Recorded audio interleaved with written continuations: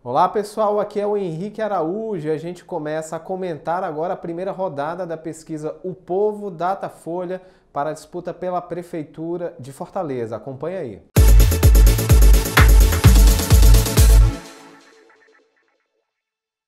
Bom, pessoal, que cenário é esse que essa primeira rodada do Datafolha mostra na corrida pela sucessão do prefeito Roberto Cláudio em Fortaleza. Né? O capitão Wagner lidera com 33% das intenções de voto, seguido ali de Luiziane Lins com 24%, à frente, ambos, não é? do deputado estadual e presidente da Assembleia Legislativa José Sarto, candidato do PDT, com 15% das intenções de voto. Portanto, não há empate técnico, mesmo considerado aí o limite da margem de erro, que é de 3 pontos percentuais, né? Há uma diferença de 9 pontos entre a Luiziane e o Wagner, e de 9 pontos também entre o Sarto e a Luiziane. Obviamente que é, há pouco menos de, de, de 30 dias, de um mês das eleições, tudo pode mudar até lá, não é uma, uma campanha praticamente inteira pela frente. A, a vantagem da, da campanha do PDT em relação a tempo de televisão é expressiva e isso deve fazer diferença sim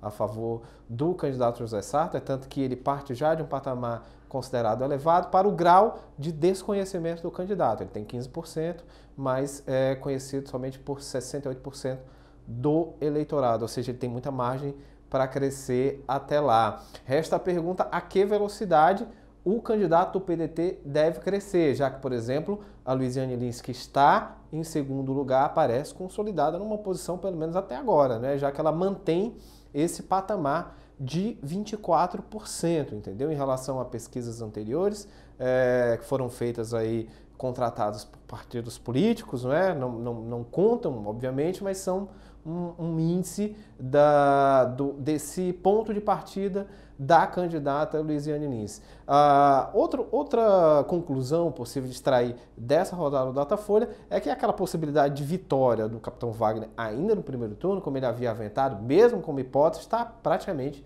descartada, né? Uh, para que isso ocorresse, obviamente ele teria que ter a maioria dos votos mais um, e isso está muito longe de acontecer, como mostra o Datafolha. Portanto, é, esse cenário inicial aponta ali o Wagner como uma, uma boa dianteira, Luiziane, que me parece estabelecida ali na segunda colocação, e logo atrás dela, com uma boa margem, um crescimento muito expressivo, como eu já falei, para o grau de desconhecimento do candidato José Sarto, o nome do PDT que tende a crescer cada vez mais. Portanto, e, e esses três nomes ali à frente de um segundo pelotão que tem menos de 10%, né? Acompanhado ali do Heitor Ferrer, do Heitor Freire que sequer é, chega a 1%, mas também tem o Renato Roseno e também tem o deputado federal Célio Estudas. Já saber se esses nomes vão perder votos, por exemplo, à medida que a campanha se caminha para o fim, para o início daquele primeiro turno, ali dia 15 de novembro, se o Renato Roseno, por exemplo, pode perder votos para a Luiziane Lins,